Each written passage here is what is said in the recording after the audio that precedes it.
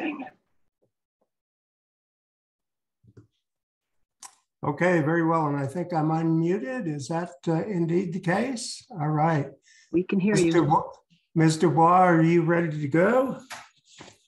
Very well. Uh, uh, This hearing will please come to order. Today is March 25th, 2022. Time is now 9:36 a.m. Uh, My name is William Honker. I've been designated by the board to serve as hearing officer, and I will be advised by the board's counsel from the Office of the Attorney General, Carlos Soloria. May we have a roll call of the board? Yes, sir. Member Bitzer, are you present? I am indeed here. Member Cates, are you present? Yes. Member Duval, are you present?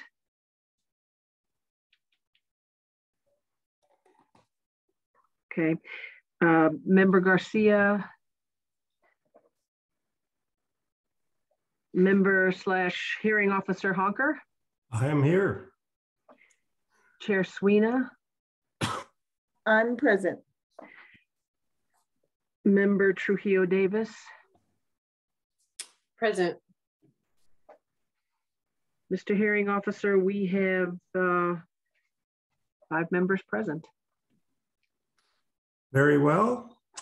Uh, This is a hearing in EIB 21-56R to consider the proposed amendments to 20.3.20 NMAC medical imaging and radiation therapy licensure due to the COVID-19 public health emergency declared by the governor and following guidelines for public gatherings set out by the Department of Health this hearing is being held online via the Zoom platform. 20.1.1.306, NMAC does allow for participation via conference, telephone, or other similar device, given all participants are able to hear. If at any point during the hearing technical difficulties arise, please bring them to my attention and efforts will be made to remedy the situation. The petitioner in this matter is the New Mexico Environment Department Radiation Control Bureau. No other person filed a notice of intent to present technical testimony. There will be designated time for any member of the general public to present non-technical testimony.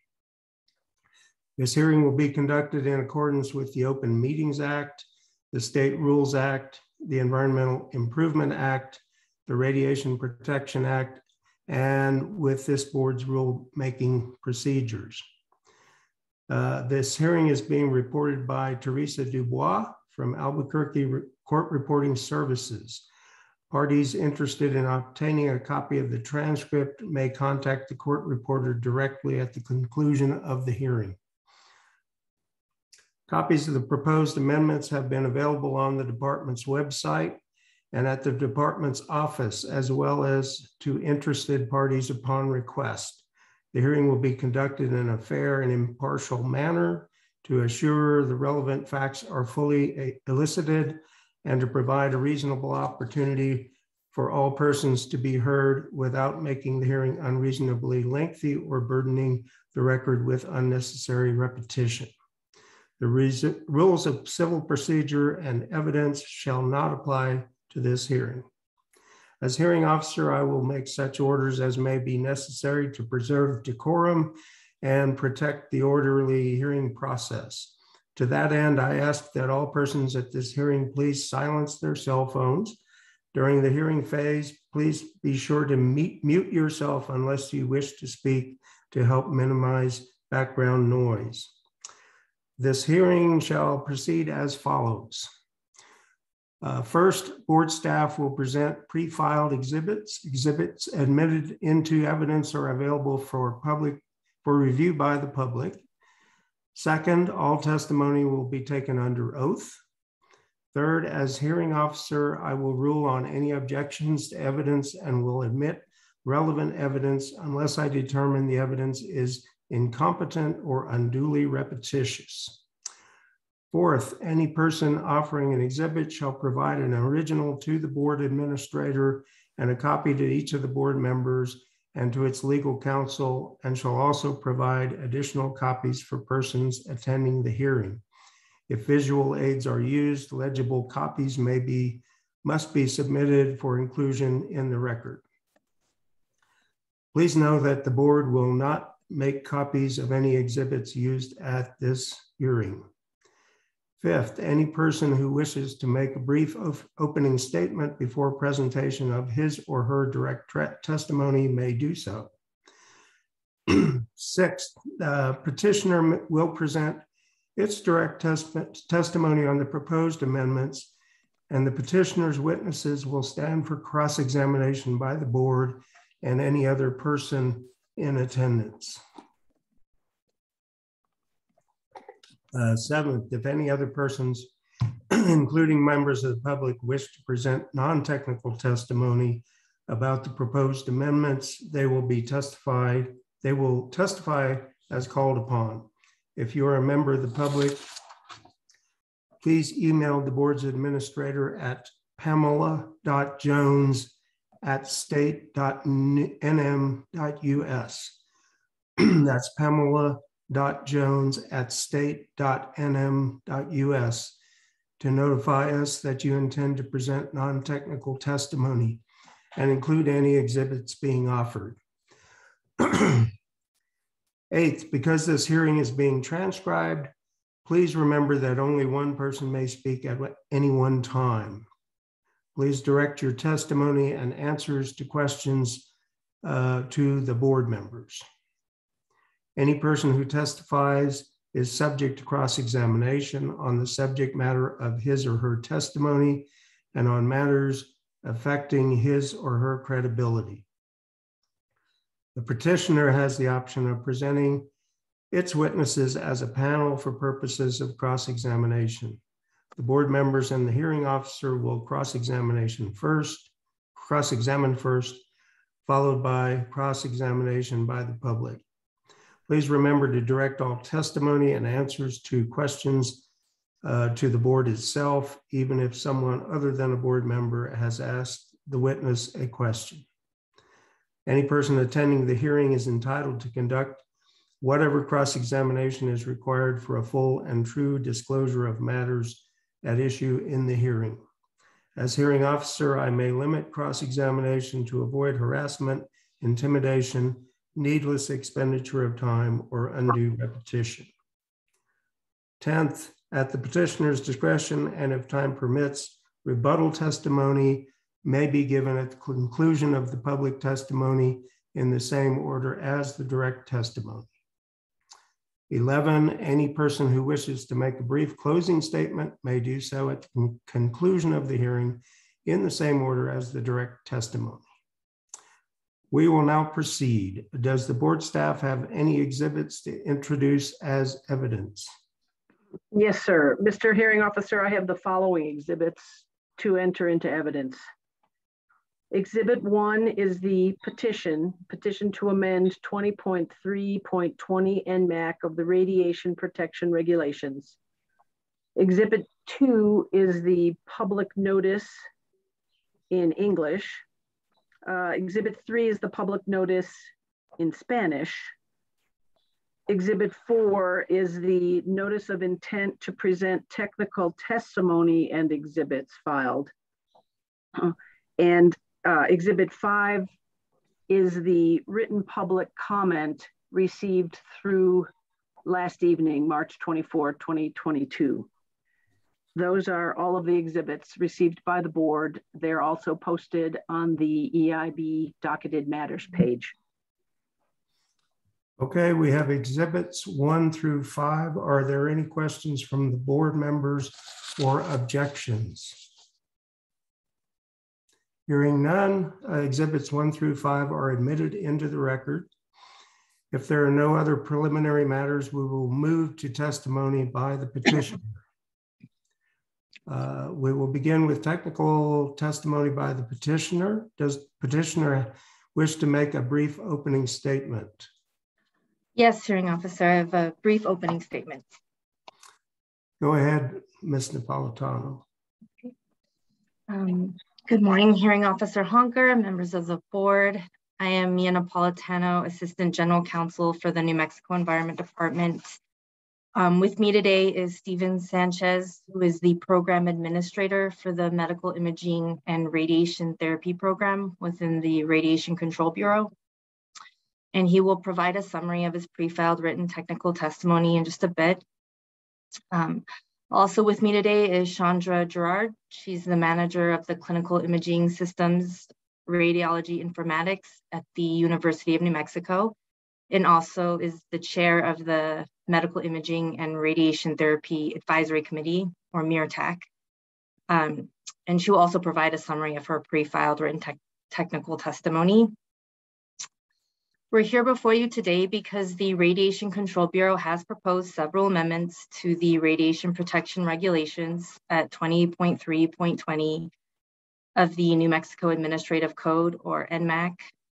The proposed amendments consist of the addition of a computed tomography or CT license and clarification of the requirements and scope of practice for the provisional license. And the Bureau is also taking this opportunity to clarify existing requirements and fix minor and typographical errors. The New Mexico Environment Department's Radiation Control Bureau uh, requires a medical imaging license for persons operating medical equipment that emits ionizing and non-ionizing radiation pursuant to the Medical Imaging and Radiation Therapy Health and Safety Act. The purpose of the act is to maximize and the protection practicable for the citizens of New Mexico from ionizing and non-ionizing radiation in the practice of medical imaging. The Act establishes requirements for appropriate education and training of persons operating medical equipment emitting, emitting ionizing and non-ionizing radiation. The Act establishes standards of education and training for the persons who administer medical imaging and radiation therapy procedures and the Act also provides the appropriate ex examination and licensure to those persons. Um, the proposed amendments are located in NMED Exhibit 1 of the Department's Notice of Intent to Present Technical Testimony, which was filed with the board on March 3rd, 2022. Uh, so now I will turn it over to our first witness, uh, Steven Sanchez, uh, to be sworn in and present a summary of his pre-filed uh, testimony. Very well. Um, Mr. Sanchez, uh, please you, uh, raise your right hand so the court reporter can uh, swear you in.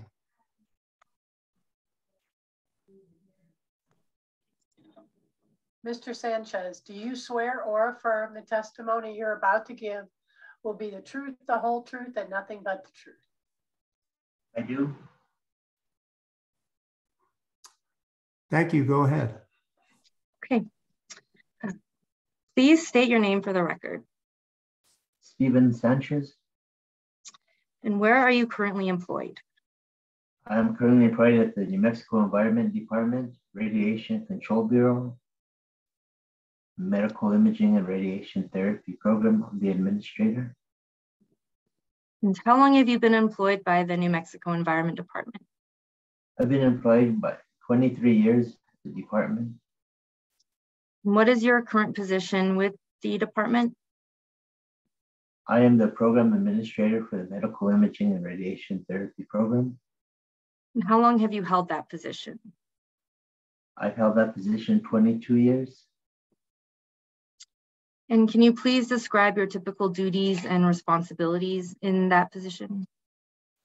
I'm solely responsible for the administration of the professional licensure requirements for all the medical imaging and radiation therapy technology, technologists that are employed in the state. The requirements are that they have to have an original certificate of licensure posted at each place of employment prior to being able to perform any procedures. So my main function is that the, the processing of applicants and the mailing and distribution of the original certificates I also do communication with um, the regulated community, with the professional societies, such as the American Society of Radiologic Technologists, and this and any other uh, duties I'm basically I'm a one person show for the whole state. We have 2,900 people licensed currently in New Mexico and it continues to grow. Great. And did you pre-file your resume in this matter as NMED Exhibit 3 on March 3rd, 2022? Yes. And did you pre-file written technical testimony in this matter as NMED Exhibit 2 on March 3rd, 2022? Yes. Would you like to make any changes or corrections to your pre-filed written technical testimony? No, thank you. Do you adopt your pre-filed written technical testimony? I do. Um, so could you just please briefly explain to the board why the Bureau is proposing amendments to 20.3.20 NMAC? We're proposing this amendment to add a computed tomography CT license because as it's a very popular diagnostic tool available to at most medical imaging facilities, hospitals, and the that type of medical procedure emits ionizing radiation. So the department feels that to keep the public safe, it's it's a, a, good idea to make sure that there's minimal standards for individuals who are operating and performing that procedure so that they can uh, perform that procedure with as minimal amount of emitting ionizing radiation to that patient while they're doing the diagnostic imaging. And also we're gonna take this opportunity to make a correction to the provisional license section of 20.3.20 NMAC so that we can make that correction as, as you stated, other minor topic uh, typing errors or such things as that. Great. And um, how did the Bureau inform the members of the public and the stakeholders of these proposed changes to 20.3.20 NMAC?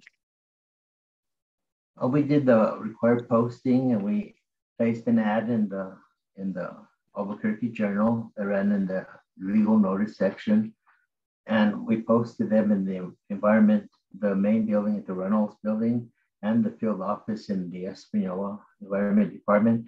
We were not able to post at the Springer building in Albuquerque due to its closing, but we did all the required uh, notices.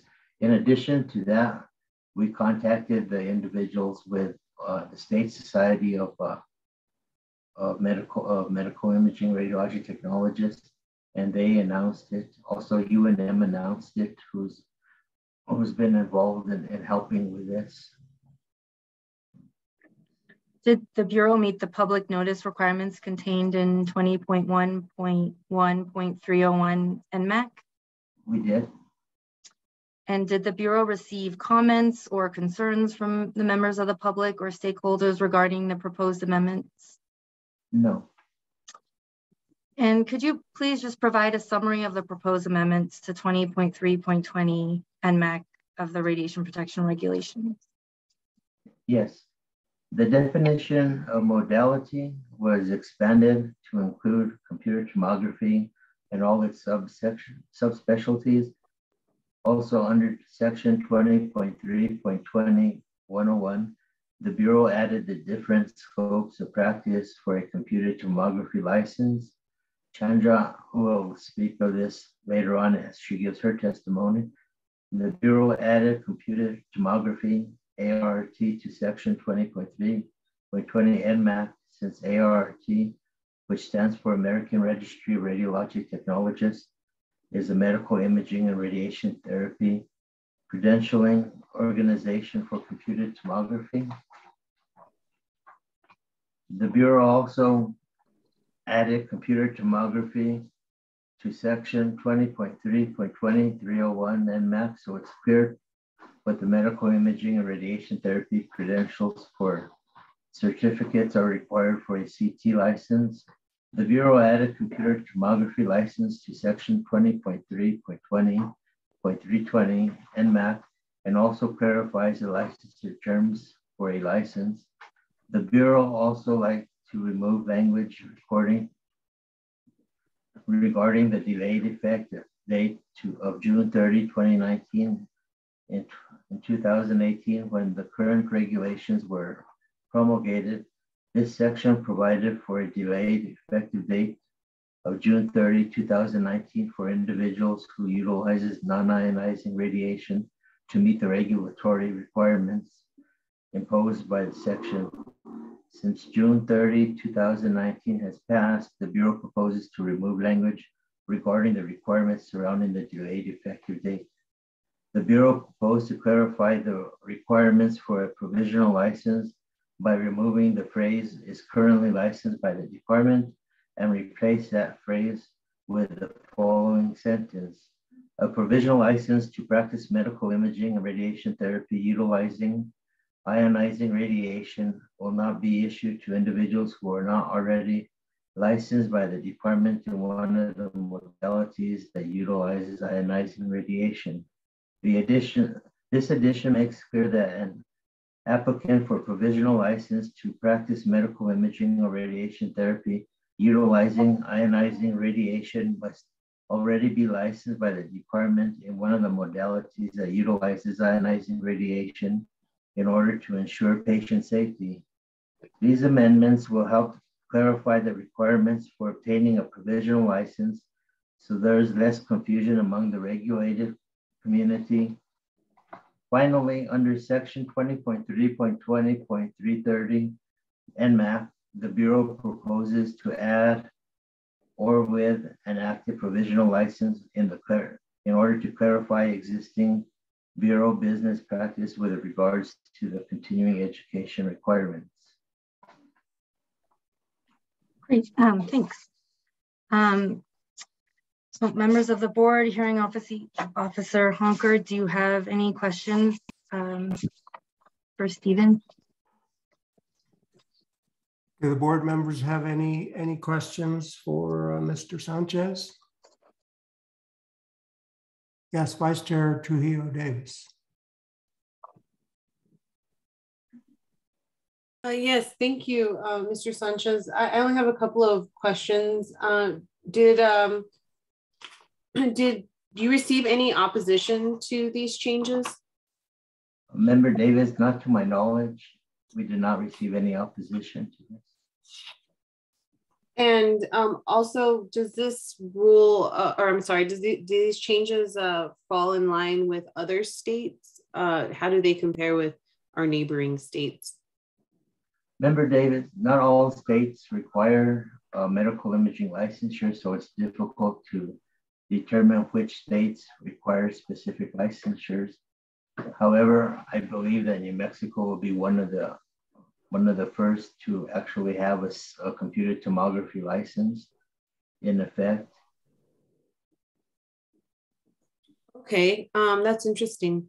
Uh, I may have some more follow-up questions later, but I'm, I'm done for now. Thank you, sir, for taking the time to talk to us today. Thank you, Member. Uh, Member Bitzer.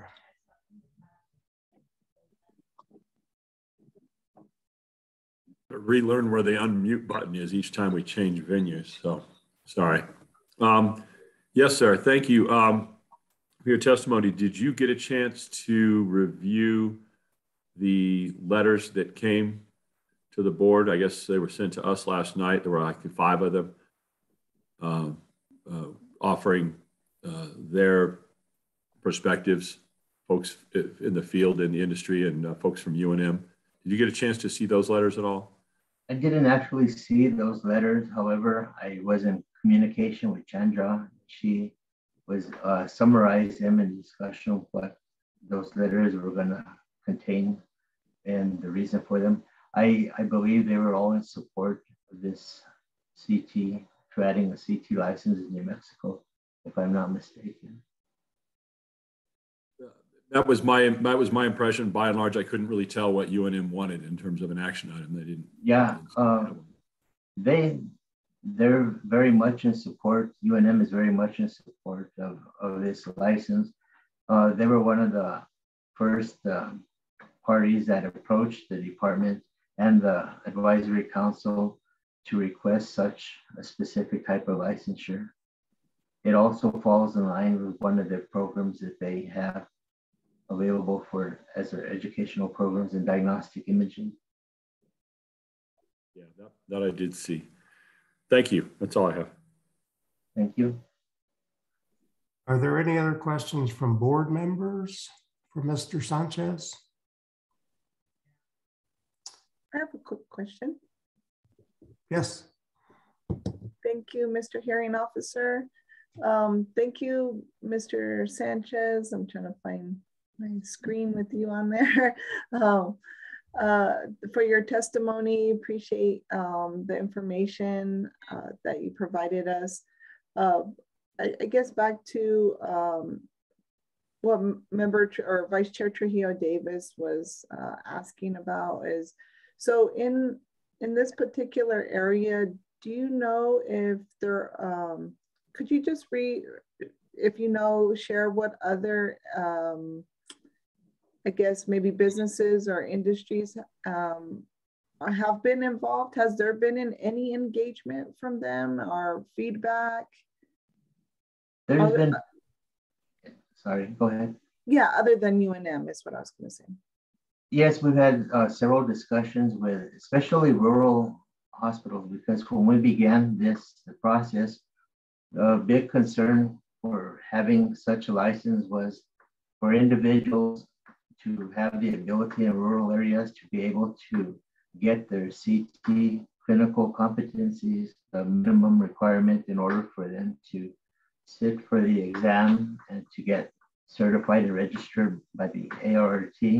But since that time, there has been this problem has taken care of itself because the availability of CT equipment has expanded greatly to CT areas. So the problem of not being able to complete their competencies has been eliminated. So that was the main concern that we had with the hospitals in the rural areas.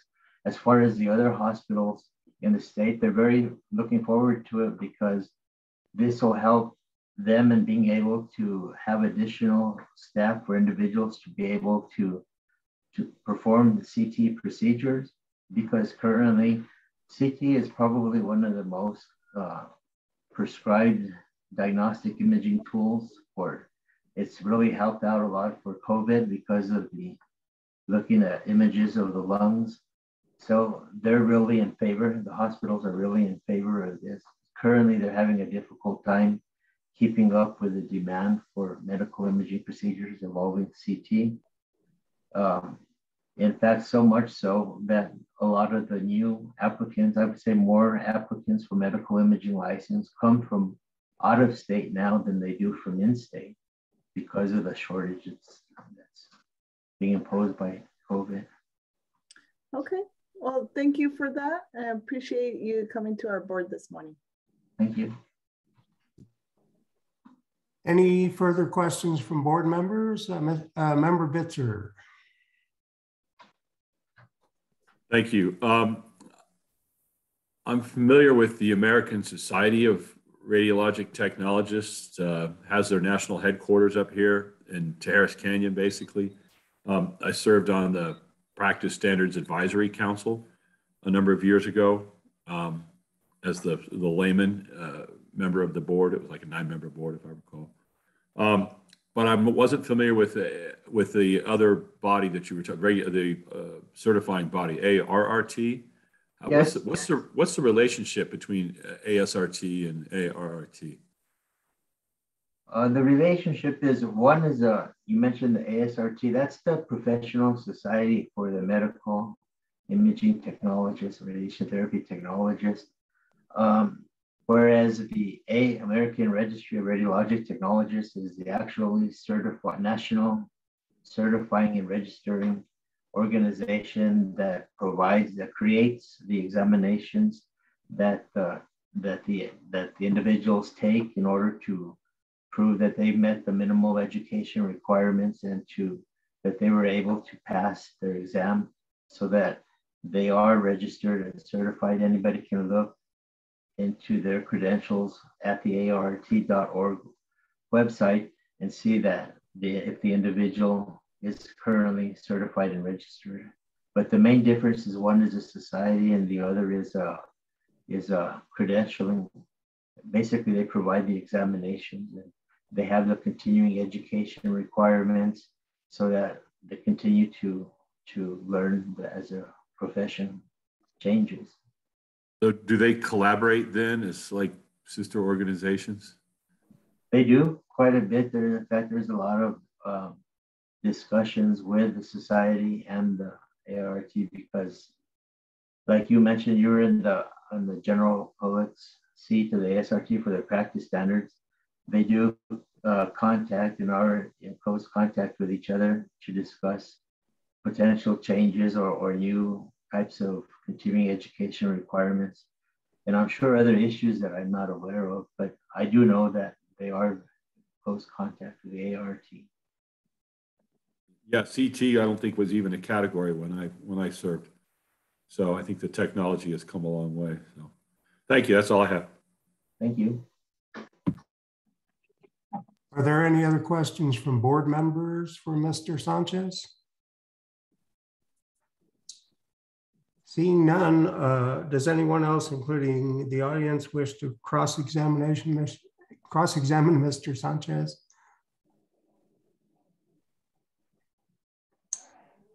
Seeing and hearing none, uh, thank you, Mr. Sanchez. Uh, Ms. Napolitano, you want to introduce your next witness? Our next witness will be Chandra Gerard. Um, Please. Um. Uh, uh, Ms. Gerard, uh, could you uh, raise your right hand and so that the uh, court reporter can swear you in? Ms. Gerard, do you swear or affirm the testimony you're about to give will be the truth, the whole truth, and nothing but the truth? Yes, I do. Thank you. Go ahead. Thank you. Please state your name for the record. Uh, my name is Chandra Gerard. Where are you currently employed? University of New Mexico Hospitals. How long have you been employed by the University of New Mexico Hospitals? Um, both between UNM and UNM Hospitals, about 15 years. Um, and what is your uh, current position with the University of New Mexico? Um, currently, I'm the manager of clinical imaging systems for radiology informatics. And how long have you held that position? Uh, two years and about eight months. And can you please describe your typical duties and responsibilities in your position? Absolutely. So I uh, typically do project management for a variety of project types, including upgrades, implementations, workflow solutions, and cybersecurity compliance. I also translate the clinical needs into IT or informatics lexicon, as well as document overall workflow processes I currently manage a group of seven imaging analysts and one tech customer support. Uh, the team, they administrate the picture archive and communication system or the PACS system used to archive all radiology images acquired at both UNM hospitals as well as Sandoval Regional Medical Center. Uh, we also administrate about 30 other applications used for voice dictation, image post-processing, and so forth. And are you also, are you a member of the medical of the MIRTAC? Yes. And how long have you been a member of the MIRTAC? Uh, four years. And did you pre-file your resume in this matter as NMED Exhibit 5 on March 3rd, 2022? Yes. And did you pre-file written technical testimony in this matter as NMED Exhibit 4 on March 3rd, 2022? Yes. And would you like to make any changes or corrections to your pre-filed written technical testimony? No. Do you adopt your pre-filed written te technical testimony? Yes. Now, could you uh, please explain what commuted, computed tomography is and how it got started? Absolutely. Um, so computed tomography or CT was developed in the early 1970s. CT is a tool that provides a more comprehensive view of the body than a single x-ray or radiograph can. CTs are different because ra rather than acquiring a single image as you would in an x-ray, you are imaging an entire volume of anatomy. The entire volume of anatomy can be manipulated by the computer after the fact to show the anatomy differently, meaning you can have the scan demonstrate the soft tissues of the body on one of the resultant series, the bones, the lungs, all of this can be done from the original scan without having to rescan the patient multiple times. CTs can also, also allow you to see the body internally and have a better idea of where something is anatomically. So you can view the body from front to back, side to side, oblique. Um, you can do 3D reformats. There's a lot of additional uh, functionality that CT can provide. And what are the risks of computed tomography, which utilizes ionizing radiation? So risks for computed tomography are most noted in the possibility of receiving too much radiation dose in a given scan. Um, there's really two different sort of outcomes that you can have. You can have a short-term outcome, which has been seen in some cases where patients actually have aversion of skin burns. Um, you can also have some patients experience things like hair loss. There's been um, some reported cases of that uh, out of California. You can also have long-term effects um, such as cataracts, cancer, and those are really due to cumulative effects of radiation dose over the life of the patient. Um, I did include a PubMed link in my testimony that takes you to a variety of articles that can walk you through that. So how do you do, how do you reduce risks associated with computed tomography? So there, there's a lot of different ways to do this. I'll keep it brief though for this uh, hearing, um, but basically reducing risk uh, in obtaining computed tomography exams are not just localized to the imaging technologists performing the scans themselves, um, but can also reside, uh, reside rather in the practice of the ordering provider. Um, that is definitely outside the scope of the testimony, but does play a big part in reducing the overall number of CTs that patients receive. There may be other scans that could be selected, such as ultrasound or MRI. Uh, radiation reduction is also obtained by enhancements in the computed tomography technology itself, so the actual scanner. Um, that is uh, something that the vendor tends to take ownership of is how to make the best type of CT to acquire the images the fastest, the least amount of radiation dose, um, and that sort of safety protocols that they have in place. Additionally, we do have an entire field of professionals called medical physicists that work through the um, AAPM, which is their uh, society to help with reduction of radiation to the patient, especially with computed tomography in both an adult and pediatric population. Thank you.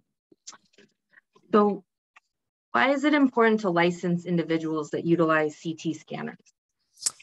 So although systems are becoming more controlled with how much radiation can be output, that is not always enough to ensure the equipment is being used by the appropriate personnel.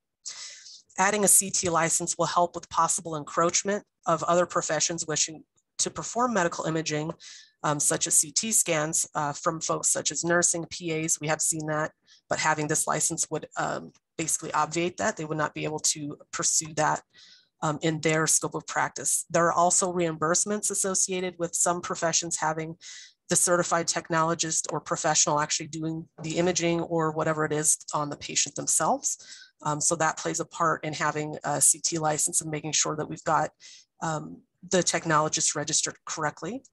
And I also like to liken this to how other certified professionals are in other aspects of medical profession um, that perform what is expected by the uh, patient. For example, a patient who needs to see a heart specialist, they would expect to see a cardiologist. The cardiologist would be expected to be educationally prepared and clinically competent. Patients should not have a different experience when getting their medical imaging, meaning if they are needing someone that can perform an x-ray, a DEXA scan, a CT scan, an MRI, they should have that technologist be certified and trained in that specialty. And um, now, Mr. Sanchez already provided the board with a summary of the proposed changes to 20.3.20 NMAC. Um, however, if you could just briefly provide a summary of the amendments that discuss the CT licensure, just, yeah, just briefly. Sure. Um, yeah, so as discussed, uh, we were advocating for having the addition of a dedicated CT license that would enable technologists, regardless of, regardless of their primary pathway to perform diagnostic CT in the state, um, this would be, though, for technologists that hold the American Registry of Radiologic Technologists CT credentials or the ARRT-CT. Um, the MIRTAC also felt that we did not want to move forward with the Nuclear Medicine Technology Certification Board CT credential because the rigor um, of that board certification is not to the standard that we would like to have for someone performing uh, diagnostic CT. And I did include um, that information, a comparison in my testimony. um, yeah, I believe that's NMED Exhibit 21 is that comparison table that um, Chandra is referring to. Um, okay, great. Thank you for that. Um, the members of the board, Hearing Officer Honker, do you have any questions for Chandra? Do members of the board have any questions for Ms. Gerard? Oh, oh. Chair Sweeney, go to you first. Thank you, Member Honker. I just wanted to thank you, Ms. Gerard, for her testimony. Um, it provides us uh, some good um, perspective of um, how these roles uh, fit in to your work. Uh, so I just wanted to say that. I didn't know if um, anybody else had any comments. Thanks. Thank you. Member Bitzer. I just wanted to compliment you on your uh, choice of backgrounds for your uh, for your Zoom. That looks like ionizing radiation circa what the North Pole. Yeah. and, uh, uh, yeah. If you if you're uh, if you're conversant with that, I, it was on my bucket list to go see Australis and Borealis. Um, am I going to see different colors at the North Pole than the South Pole? I don't know. I think it's dedicated by the magnetic fields.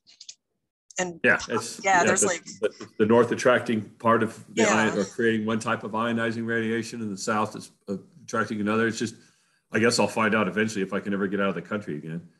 But yeah, so you you you sort of indirectly brought it up with that great uh, background. So I just I've been dying to figure that one out, and I don't know. But that's all I have. Thank you for your expert testimony. Absolutely. Thank you.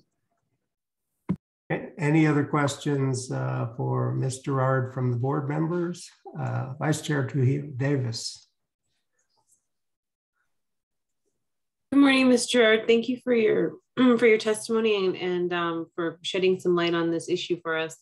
Um, I, I just had one quick question. Uh, you mentioned uh, issues that uh, had been documented out of California, and I'm curious if there has been any documented in New Mexico or if if this is just a, a, a preemptive uh, kind of approach to any issues happening here.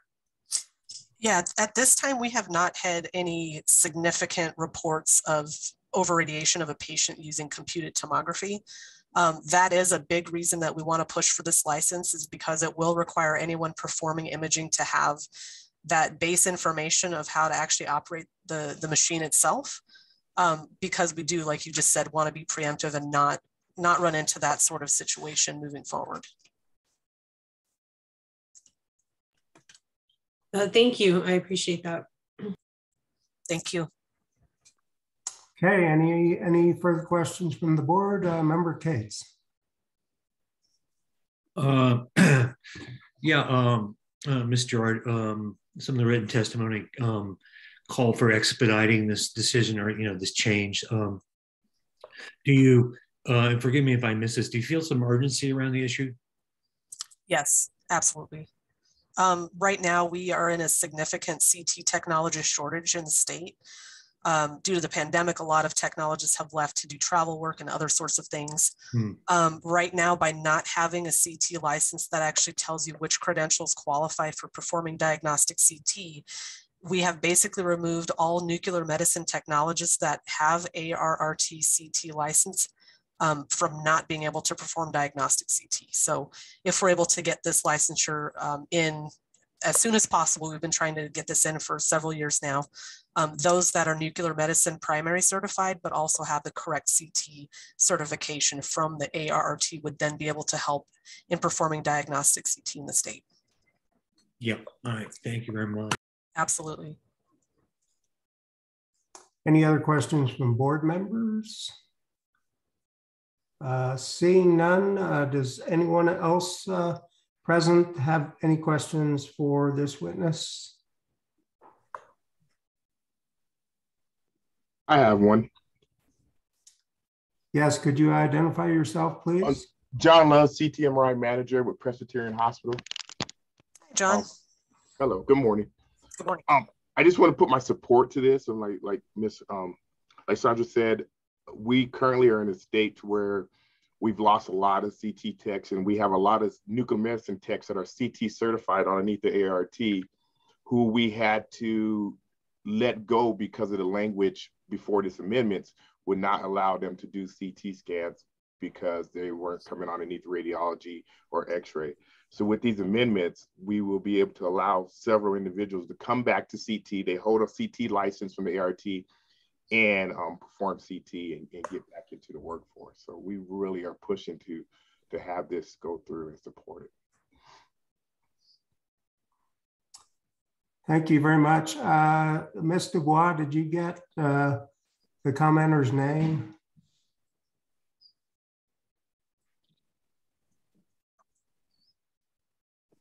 Yes, sir, I did. I can give it again if you need it. It's John Love. John Love. Okay. All right. Thank you very much, Mr. Love. Any any other questions uh, for Ms. Gerard? Seeing and hearing none, uh, thank you very much, Ms. Gerard. Uh, Ms. Napolitano, uh, do you have any other witnesses? Um, no other witnesses. Um, so I would like to, you know, move the admission of NMED exhibits one through 22 into the record and make those part of the administrative record in this matter. Um, and I'm ready to give a brief closing unless um, you have anything else. Um, well, let's let's uh, consider uh, NMED exhibits one through 22. Is there an, any objection from uh, to admitting those into the record? Seeing and hearing none, I will admit those into the record. Um, now, a question for Councillor Soloria is, so uh, should NMED's closing be now or, or do we want to take public comment first?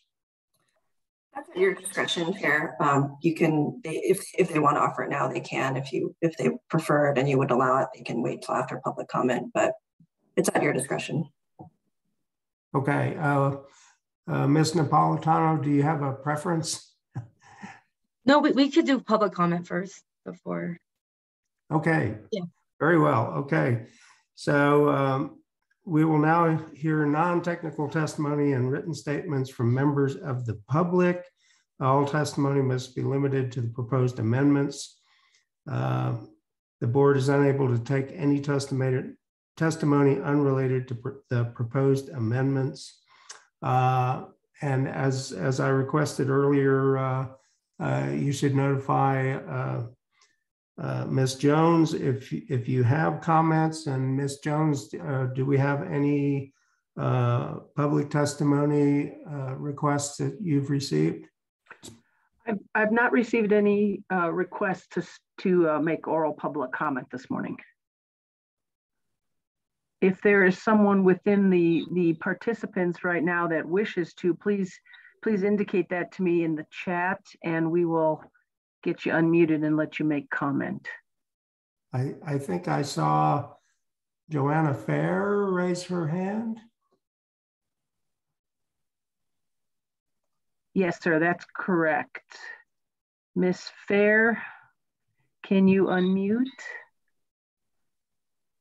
Yes, hello. Thank you very much, members of the board, for allowing me to speak.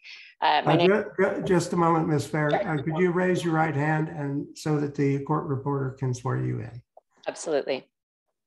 Ms. Fair, do you swear or affirm the testimony you're about to give will be the truth, the whole truth, and nothing but the truth? I do. Please speak slowly. Thank you. Go ahead. Thanks. Good morning, members of the board. Uh, my name is Dr. Joanna Fair. I am a radiologist and nuclear medicine physician at the University of New Mexico. I'm a professor and have been uh, on the faculty here for almost 13 years.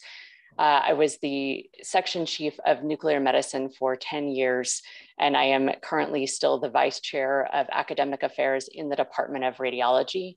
I'm board certified both in radiology and in nuclear medicine. And I wanna speak in favor of these amendments. Um, as you can tell, I've worked in radiology and nuclear medicine for an extended period of time. Um, I think one of the things that was alluded to sort of closer to the end of this discussion uh, was the impact on our nuclear medicine technologists. So our nuclear medicine technologists have a Bachelor of Science in Radiologic Sciences with a specialization in nuclear medicine. And then many of them do go on to obtain a CT certification, which is an additional year of training, and are ARRT certified in CT. As was mentioned, however, because they are not ARRT-R, um, they are currently unable to perform diagnostic CT examinations in the state of New Mexico. Um, this creates two challenges, one that was referred to um, by Mr. Love. Um, with the shortage of CT technologists, we have fully trained, fully qualified individuals who could assist with CT and are, are currently unable to do so. Um, and in addition, uh, as you may be aware, uh, much of the work that we do in nuclear medicine is in PET CT, which is for diagnosis of cancer. And uh, there's a CT component of that currently, um, though they are not able to do a full diagnostic CT, uh, which can be of benefit to the patient to be able to have both at once. You can imagine that the patient comes in, needs a CT scan, also needs a PET, um, and currently, if they need a CT scan, they have to go to another scanner, maybe come back on another day, um, have sort of a different examination because the tech that's doing the PET CT isn't certified to do a diagnostic CT. And in the circumstance where the nuclear medicine technologist who is CT trained and ARRT CT could do both examinations on the same scanner, um, that really substantially increases our patient satisfaction and the patient experience in being able to get both of those examinations at that same time. And so um, there's really those two reasons relating to our nuclear medicine service where it would be very beneficial for these technologists who are fully trained to be able to perform diagnostic CT. Um, in addition to, I think I, I really do also agree with the arguments that were made about CT certification really being different and unique from uh, X-ray certification, the higher level of radiation that's associated with CT, and the importance from a patient safety standpoint to have this additional certification for folks who are doing CT. And so I just wanted to speak um, you know, to all of those reasons uh, for, for bringing, this, uh, bringing this forward. Thank you, Dr. Fair. Um, uh, board members have questions for Dr. Fair. Uh, Vice Chair uh, Trujillo Davis. Uh, yes, thank you, Dr. Fair. Um, my question was just about the the doubling up of, of, being able to take care of two things at one time. Would that uh, potentially reduce costs for patients? Um, the cost part is complicated because if it's a separate examination, it may have a separate cost, but it certainly improves the patient convenience in terms of being able to potentially do both exams at the same time on the same scanner um, instead of having to be scheduled at another time or another place uh, for, for the separate diagnostic CT. And um, just one follow up there, does that, uh, is there currently a, any backlog or difficulty scheduling patients? Uh, like what's, what kind of wait time do patients face for these types of scans? Um, that's a great question. I think actually um, I, I, see that Dr. Megan Carey Island, who is our uh, nuclear medicine, I'm sorry, who is our radiology executive director, is on the call, and she might be able to actually speak a little bit more um, to patient wait times. Um, Chandra might be able to as well. I don't know if Megan's able to speak right now or Chandra. Um, if not, that's okay. We can wait till. Uh, There's Megan. but thank you for, for answering my questions. Good morning.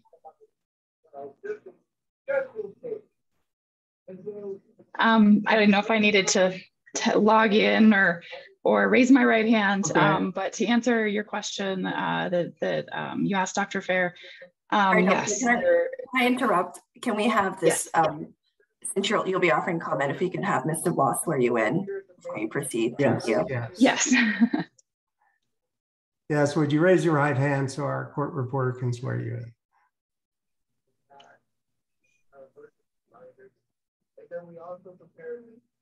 You swear or affirm the testimony you're about to give will be the truth, the whole truth, and nothing but the truth. I do.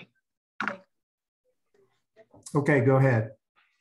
Wonderful. Thank you all. Um, thank you, board and members that are present today. Um, to answer the question posed to Dr. Fair, um, I can only speak to University Hospital at this moment, of course, um, but in speaking with colleagues um, across the state and, and within the city, um, I think we're in similar positions. There are definitely what we would consider backlogs of patients waiting to get exams because of the shortage of technologists and the inability for us to have technologists who are certified by the ARRT perform diagnostic CT. Um, we do have wait times for patients to receive diagnostic CTs at this time. Um, passing of these amendments would definitely um, benefit patients in that we would be able to move forward with some of these diagnostic exams at the time that they're here for other things. And it would allow us to employ technologists that have an ARRT certification in the CT area um, uh, to perform diagnostic CT if necessary. So this would be of benefit to patients as well. Thank you. Oh, uh, do any other Absolutely. board members have questions for either one of these witnesses? Seeing none, does anybody else have any questions for uh, either one of these witnesses?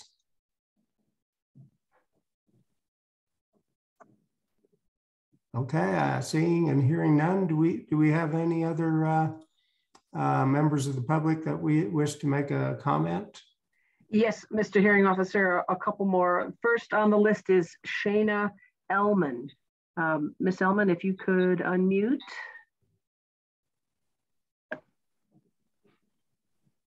Hello, my name is Dr. Shana Elman. Uh, I am also. Uh, Hold could, on. you- could you raise your right hand and, and have, we'll have the court reporters where you Yes. in. Just give me a moment. I need to write your name down. Sure. Where are you? There you are.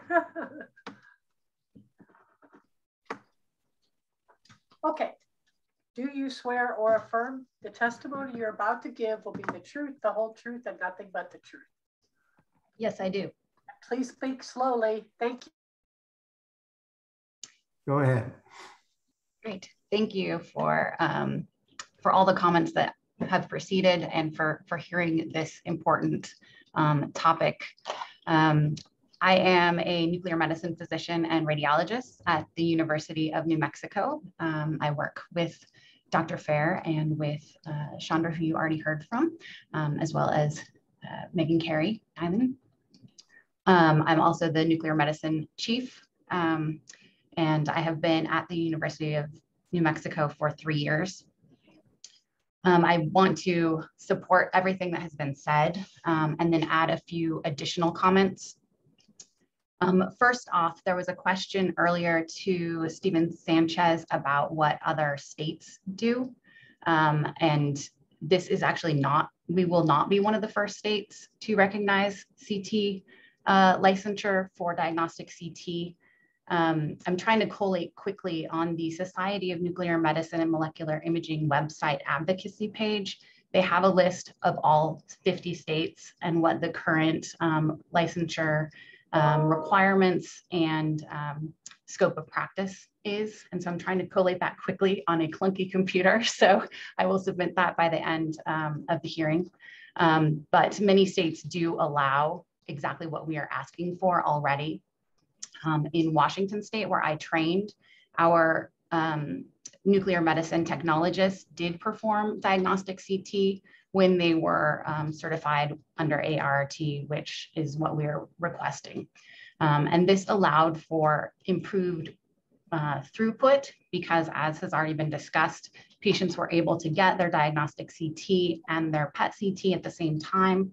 This also potentially can lead to reduced radiation doses for the patients because when they are getting a diagnostic CT at the same time as the PET CT, we would apply a special protocol to reduce the radiation dose that they're getting for the um, limited CT that is obtained with the PET scan. Um, also, when we're interpreting the exams, it can really improve our ability to diagnose things confidently when we are able to review both the diagnostic quality CT at the same time as the PET CT, combining information from physiologic um, metabolism with the actual anatomic imaging and the ability to look at the diagnostic CT really improves our ability to see those anatomic structures. Um, in addition to you know convenience to the patient, I think it also um, does minimally reduce the cost, as was asked before, when they can uh, it gets charged a little bit differently when the CT is performed at the same time, um, and um, certainly reduces the backflow by allowing those spaces that are currently taken up by diagnostic CTs that could be done at the same time, um, opening up those spaces for other patients to be able to get CTs. Um, I do think it also would be helpful in terms of retention for our state and being able to offer to the technologists the ability to practice within the entire scope of what they have been trained to do. Um, and, and as everyone has alluded to, we definitely are in a shortage of techs and we don't want to lose any to other states who already allow this uh, to be done. So uh, with that, I'm happy to answer any questions. Hey, thank you, Dr. Ellman. Does, uh, do the board members have any questions for Dr. Ellman? Uh, Vice Chair Trujillo Davis. I actually don't have any questions, uh, and this may be a question more for Ms. Soloria, but um, would uh, would it be appropriate to ask uh, NMED to submit into evidence for the record a copy of the states that require this type of licensure? Um, I, I, it doesn't sound like we have a lot of opposition to it, but it seems like it would be something good to have within the record. Um, you could leave the record open to give parties an opportunity to do that. It did sound like um, Dr. Elman offered to submit that as part of what would be essentially public comment, and that could be considered part of the record. Um, the only way that you could request the party to um, furnish information after the fact is if we leave the record open for, for a time period to do that, which is an option. I just don't know if you want to do it, do that. Um, I think more of my concern was, uh, you know, we do get a lot of public comment, but as far as uh, making sure that uh, the evidence that is submitted is in fact uh, true uh, and that it, it, it does meet quality um, control standards if we have them, but um, that it has been at least looked over and, and it is in fact um, factual. Uh, so that was that was more of my my concern in asking NMED to also submit it. Um, I can let Ms. Napolitano perhaps speak to that issue. Um, just note, I see an email. Is Chair, oh, Chair Twin is back on. Sorry, I just saw your email. Okay. Um, yeah, if, if Ms. Napolitano wants to respond to that, um, she can go right ahead. I mean, we could submit it. It's in terms of, you know, I don't I certainly am not an expert with CTs, so in terms of me verifying the accuracy of this document, I don't think I could do that. Um, I um, I would turn to probably Chandra or Dr. Ellman to verify that because they are the experts with this. Um, but I don't I have an I, issue with with submitting it at a late. I, I don't have an issue with submitting it as an exhibit. Um, if if the board would like that, I can I can certainly do that. And I just to clarify, I don't think that it would not be a factual document. I just want to make sure that whoever's submitting it retrieves a document from a reliable source. And uh, I'm, I'm assuming there's a an organization uh, that has been mentioned several times that keeps track of of where this is coming from. So that was really the root of my my question there. Yeah, and and Chair, um, I mean, excuse me, Member Trujillo Davis, um, I think if the parties or public offer to um, submit that information um, before the close of this hearing, that the board is well within its discretion to consider it and then just give it the weight it deems appropriate based on um, whatever indices of credibility are on the face of that information. I think that sounds like it might be a, a easier approach. Okay, uh, uh, question for Dr. Ellman. So you you said you were you were uh, retrieving this information right now. So uh, do you have a time estimate as to when you could uh, submit that for our record? I would hope within the hour. Okay, very good. And um, uh, Pamela Jones forwarded me her email address and said that she would forward along to board members. Okay, very good. Uh, are there any other questions for doc, Dr. Elman? Any questions from the public for Dr. Elman? I see a hand raised. It says Megan. Uh, so uh, you have you have a question for Dr. Elman? And you need I need your last name, please. Sorry for interrupting. I, I, I think she needs to be unmuted too. Pam. Better? Yes. My last name is my last name is Reza, R E Z A. And it um, I work at New Mexico Cancer Center. Great. Do I need to swear her in? Are you, are you are you providing testimony or are you asking a question for Dr. I was actually going to just make a, a small comment. Okay, well, in that case, please raise your right hand and uh, our court reporter will uh, swear you in. Do you swear or affirm the testimony you're about to give will be the truth, the whole truth, and nothing but the truth? I do. Thank you. And please speak slowly. My my comment was based on what um, Dr. Ellman had stated, as well as um, Ms. Davis's question. Um, I do already have our surrounding states um, scope of practice with CT. I have those documents as far as when it comes to Arizona, Colorado, as well as California, and my home state, Illinois. Those were the four that I had pulled up on my own. So if it would be helpful at all for me to submit those to you, I do have CT listed as a scope of practice for all of those states. That was my only comment. Just trying to be a little helpful. Yes, yes, yeah. I think that would be helpful. So if you could email that uh, Sure. as soon as possible to, to uh, Pam Jones. Sure thing. Thank you. Okay, are there other questions for uh, Dr. Ellman? Seeing and hearing none. Uh, Pam, do we have any other public comment?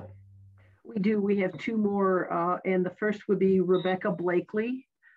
Miss Blakely, if you can, uh, oh, there she is, unmute, and uh, court reporter will take it from here. Okay, Ms. Blakely, if you could raise your right hand, uh, court reporter will swear you in.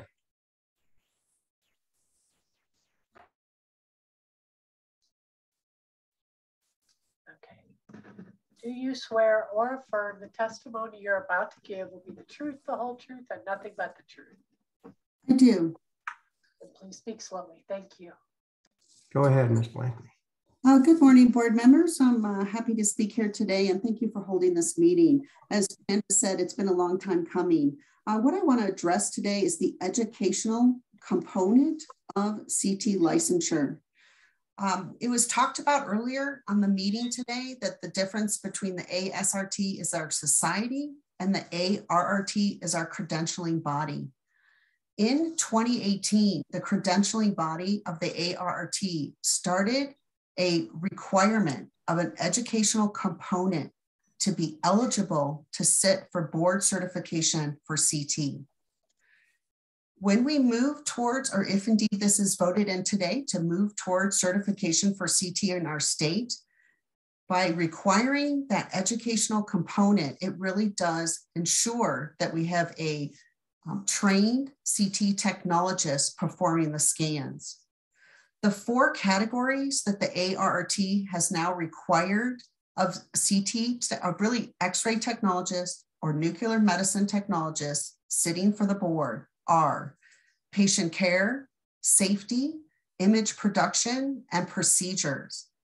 Therefore, any CT tech that would be performing those diagnostic scans in our state would be trained in those four areas.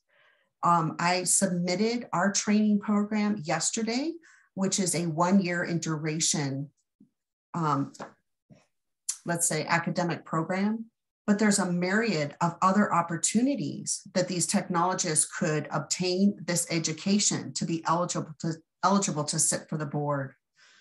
By being trained, again, they are reviewing all the components of the radiation dose per procedure. They're reviewing how to minimize repeats, therefore um, reducing radiation dose to a patient. They are um, well versed on selecting correct exams, therefore re, um, minimizing repeats again. And they're really much more well trained to be able to deliver um, safe and effective CT scans. It's been also mentioned on this meeting today of our shortage in our state. One, let's say, trend is to take an X-ray technologist that has just graduated and train them in CT. Although a great opportunity for a, um, a X-ray technologist that's just graduated X-ray school, we certainly advocate for that newly graduate to be educated in the field of CT in order to perform safe and effective CT scans. Again, by moving forward with this licensure, we would really um, ensure that all technologists would be certified. It is my under, I mean, educated and certified. It is my understanding that it won't minimize the workforce because these technologists will be able to obtain a provisional license. And then once they start obtaining their competencies, they have to sit for the board certification within two years by the ARRT. So again, the educational component to me as an educator, the director of the RadSci program at UNM, is key to, again, allowing safe and effective tech, um, procedures to really be in place for technologists performing these CT scans for our citizens of New Mexico. We certainly advocate for CT licensure for the state of New Mexico. Thank you, Ms. Blankley. Are there any questions from the board for Ms. Blankley? Yes, Vice Chair uh, Davis.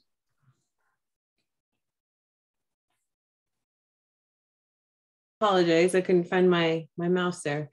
Um, uh, just a quick question, uh, and um, and if you can't uh, answer this, that's a-okay.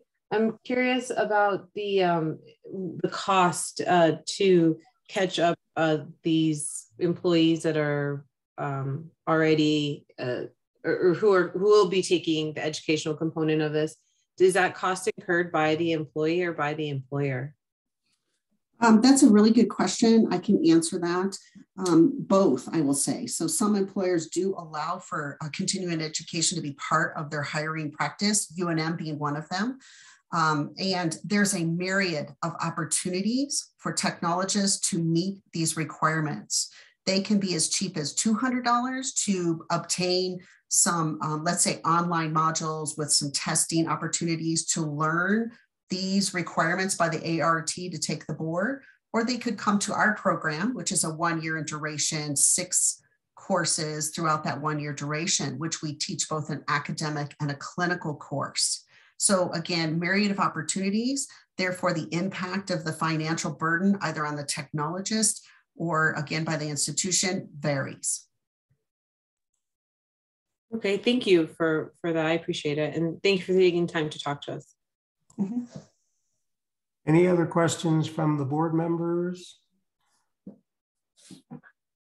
Seeing none, uh, uh, does anyone else present have any questions for Ms. Blankley? Seeing and hearing none, uh, thank you, Ms. Blankley. And uh, Ms. Jones, there's, there's another comment. Uh, yes, Mr. Hearing Officer, Melissa Ortega would like to make comment. Ms. Ortega? Hi, good morning. Uh, Ms. Ortega, could you raise your right hand and the court reporter will uh, swear you in.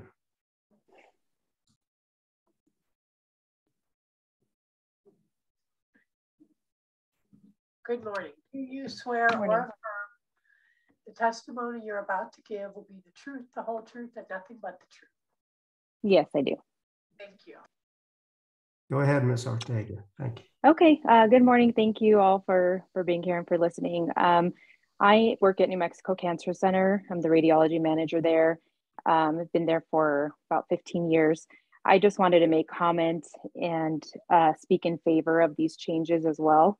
Um, I've had the opportunity, uh, first, I'm a CT tech and x ray tech also, and I've had the opportunity to work hand in hand with other nuclear medicine technologists. Um, we do have a PET CT machine, so we do PET scans and diagnostic CT scans for our uh, cancer patients. And um, a few of the nuke med techs have gone above and beyond to get their comps for CT, have taken their ARRT CT boards as well. Um, unfortunately, they have not been able to work alone in that aspect. Um, it would be very helpful to be able to utilize them in that way, and um, it would be great for patient care as well. So I just wanted to speak in favor of that. Um, we have some great employees and great technologists, and it would be great to have them work in New Mexico and not leave for, uh, you know, a situation like this. Thank you, Ms. Ortega. Are there any uh, board member questions for Ms. Ortega? Seeing none, uh, uh, does anyone else uh, present have any questions for Ms. Ortega?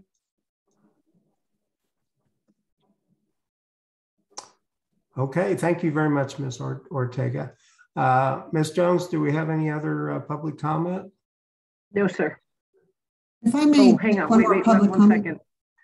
There is, uh, Ms. Blankley would like to make one additional comment if you would allow that. Yes, uh, and Ms. Blankley, you're still under oath, so uh, go ahead. Thank you. I wanted to offer uh, one more, uh, some additional information regarding the nuclear medicine technologists that are trained, as she stated, above and beyond in CT. Those nuclear medicine technologists have a different uh, opportunity, let's say, to train in CT that is different from an X-ray technologist which means they really do come to our full blown program. They have been trained for an additional year to be able to uh, deliver CT scans, again, safe and effectively. They've attended both the academic and clinical program for one year. And again, for an x ray tech, that's a different option. And the reason is this it is in our scope of practice for an x ray technologist so they can start performing CT scans in their scope of practice with or without an educational component. They would still need to meet the qualifications required by the ARRT, but the nuclear medicine techs that we've all heard about today are indeed trained for an additional year in CT. Thank you. Uh, board members have any questions for Ms. Blankley? Any members of the public have any questions for Ms. Blankley? Okay, hearing and seeing none. Uh, Ms. Jones, do we have any other public comment? No, sir, we don't. Okay, uh, I would like to take a five minute break. So let me propose we take a five minute break uh, and we can come back for Ms. Napolitano's uh, closing uh, statement and uh, and see if we've had any additions to uh, anything submitted uh, uh to Ms. Jones uh, at that point. So uh, let's let's take a five minute break and return at 11 o'clock. Thank you.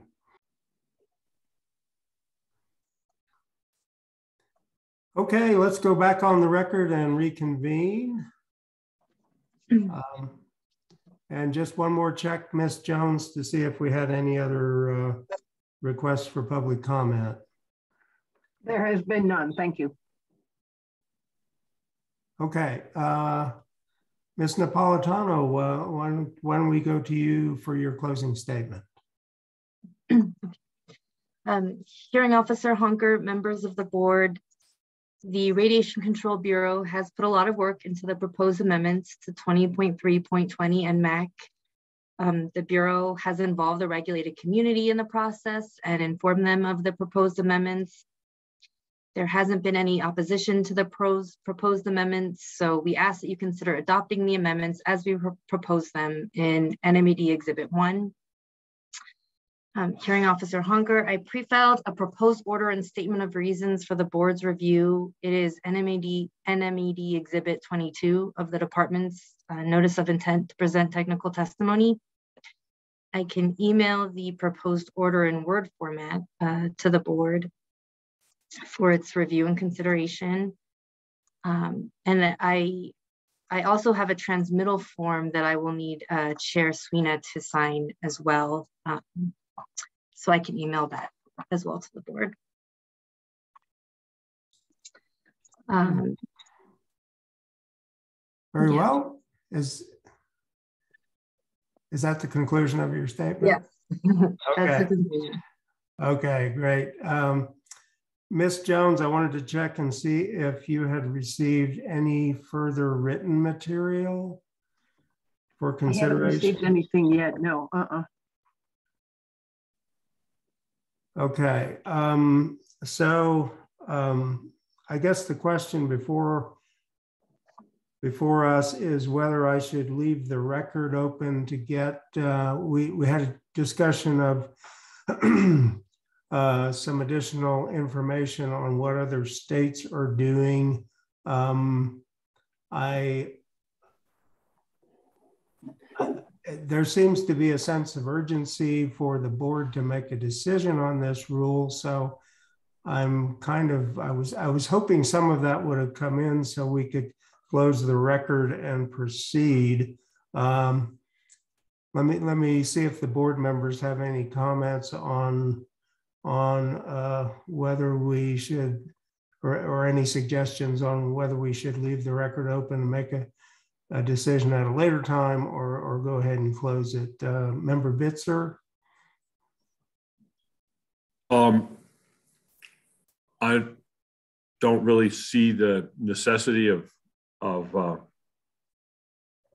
uh, I mean, it would be nice, I guess, on the on the margins if we if we saw that every other state or half the states or whatever have have gone this way. I don't see that it's necessary. However, I mean, I um, we've heard from a very august bunch of uh, professionals, and, um, UNM has a, a, teaching hospital, has a fabulous reputation.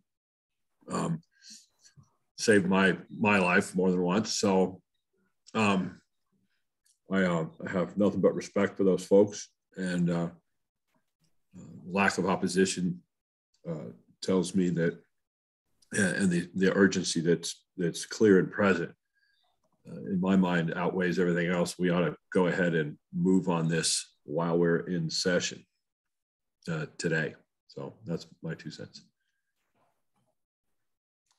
Other thoughts? Yes, Vice Chair Trujillo Davis. Um, I agree with Member Bitzer. Uh, I would have liked to see uh, that uh, uh additional information in the record, uh, just because there was some contra contradiction with NMED's witness.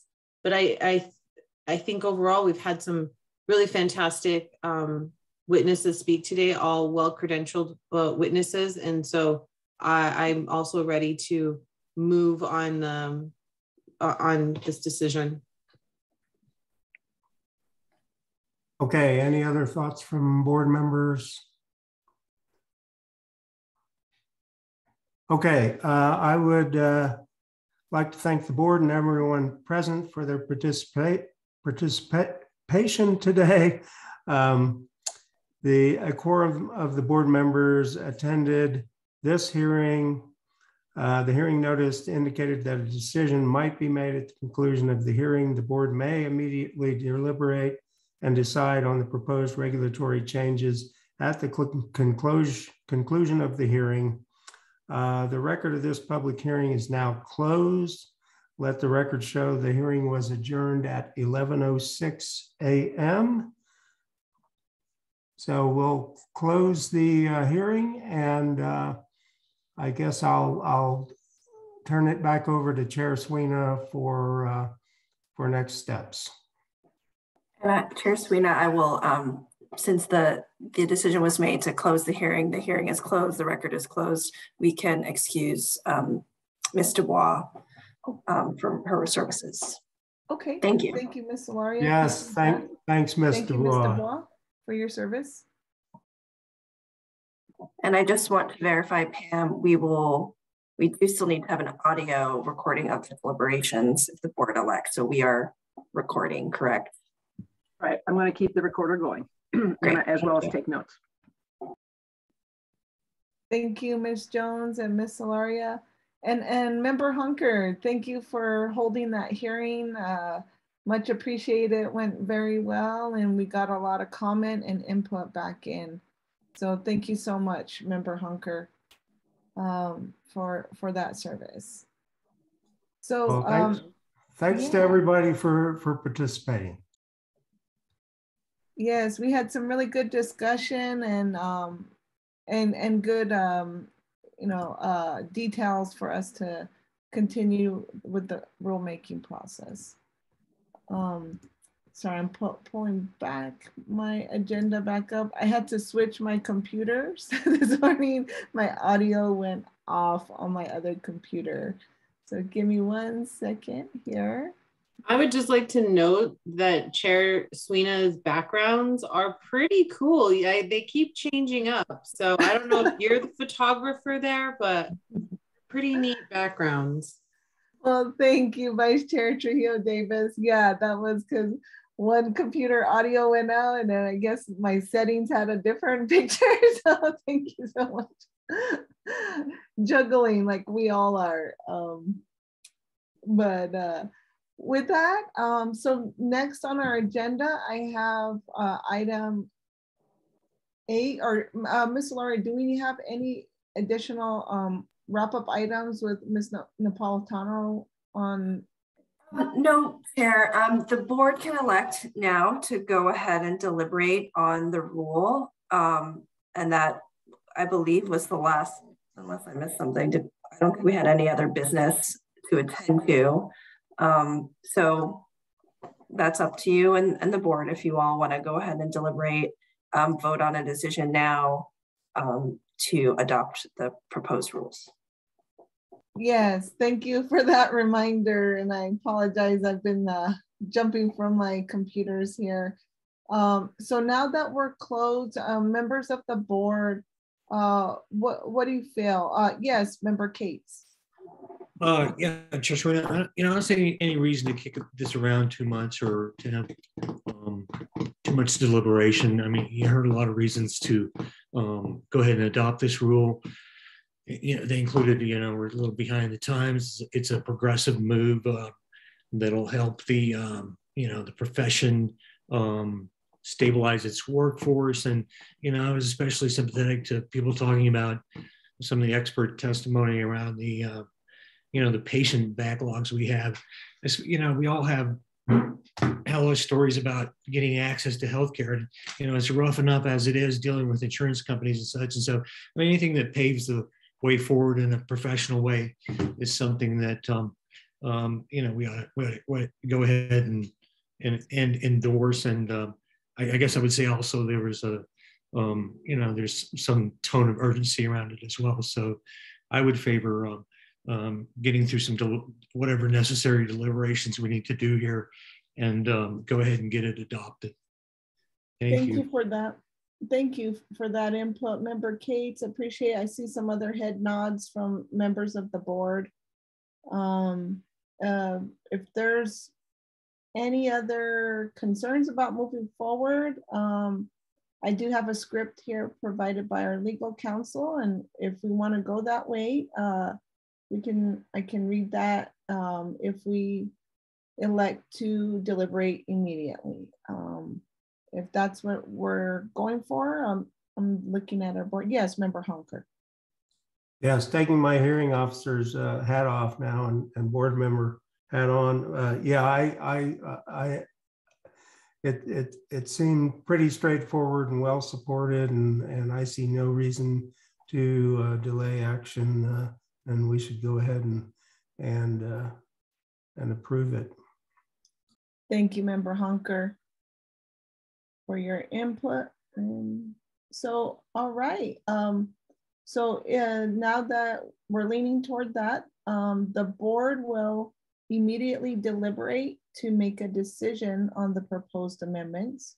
If while deliberating, the board determines that additional testimony or documentary evidence is necessary for a proper decision on the proposed amendments, the board may, consistent with due process requirements, reopen the hearing for such additional evidence only.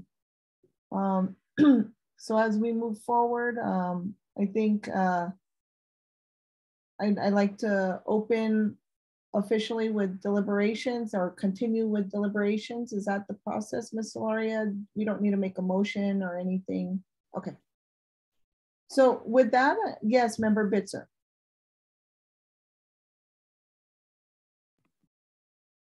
So uh, I guess we're deliberating now. Uh, my um, my uh, my two cents, three and a half cents after inflation, I guess at this point would be uh, uh, we have uh,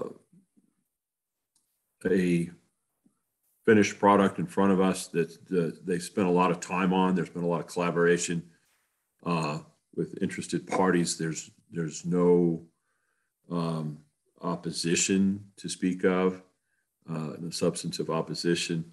Um, there is a uh, health and safety uh, urgency to this uh, as well, as well as access to care. So um, I, I'm, I'm prepared to support this. Thank you, Member Bitzer, for your input. Yes, uh, Vice Chair Trujillo Davis. Um, I'd also like to give my support for these amendments as written. Uh, I, I, think they addressed some uh, significant health and safety concerns as well. It does not appear to be uh, cost prohibitive to the employees, uh, and there seems to be avenues for them to be able to uh, get their certification, um, especially in rural areas, which I thought was an important uh, component to address. Um, and uh, you know, the potential job loss to the state is also something that the state of New Mexico cannot afford to to endure. And uh, lastly, the the benefit to the patient in scheduling and being able to uh, get their care at uh, in a timely manner is also another thing that really stood out to me. So for those reasons, I, I support these amendments. Thank you, Vice Chair Trujillo Davis. Uh, appreciate your input and um, summary of much of the evidence and testimony that we heard today. Uh, with that, I, uh, Member Honker, Member Cates, do you have any additional comments or um, insights? All right. Yes, Ms. Soloria. I'll just uh, reiterate for the board that the department submitted a proposed statement of reasons with its um, intent to present technical testimony. So to the extent um, a motion is crafted, if, if, if you want to rely on the reasons proffered by the department, um, that would be good so that I would have direction to go ahead and put that together in the board's order. Thank you for that, Ms. Soloria, and for that reminder of um, needing to make sure that's part of our record and any motion and also uh, to support our any to support and for your your task your next task. Um, with that um, i just wanted to reiterate many of the comments or support many of the comments of the board. I think they're indeed what we heard this morning and uh, through the exhibits uh, and through the public um, exhibit that we got this morning or last night that um, there is support for this rule, there's a need for this rule. And I just want to thank the department for your efforts as well in bringing this to the board um, and also the outreach and engagement and the support that uh, you also um, helped um, engage uh, with the, the various stakeholders. With that, um, I love to look to our board and look for a motion. Um, if anybody wants to step forward or if we need more discussion. Great. So I'm looking to the board. Yes, Member Bitzer. I'll, I'll take a stab at this, I guess. Uh, I would move adoption of the proposed amendments uh, for the reasons we've discussed and heard, and for uh, the reasons also stated um, in the, uh, what's the word I'm looking for? Uh, in Ms. Ms. Napolitano's um, statement of support. There, we got thumbs up for the legal counsel. Thank you, Member Bitzer, for crafting the motion. I'll second. Thank you, Member Honker, for your second. Um, with that, if there's no further discussion, I'll look to Ms. Jones. Would you mind doing a roll call vote on, on Member Bitzer's motion? Yes, ma'am. Um, well, starting with Member Bitzer, how do you vote? I vote yes. And Member Cates. Yes. For the record, I'm going to call our absent, uh, or Mr. Member Duval and Member Garcia, Member Honker, I vote yes. Vice Chair Trujillo Davis, Yes. Chair Sweeney. Yes. Madam Chair, the motion passes.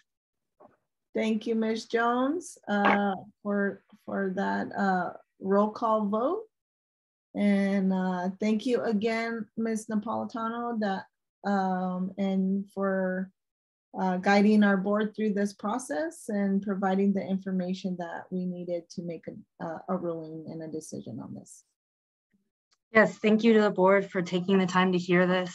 Um, the Bureau has definitely been waiting a long time for this, so we're very excited to, to have your support today. Thank you. You're welcome.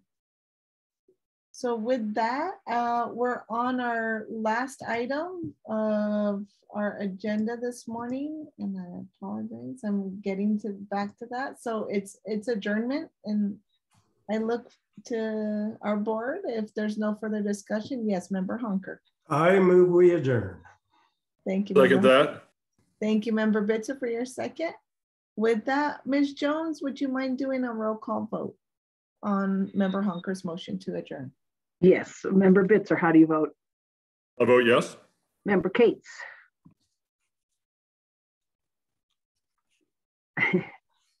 I see you. Sorry.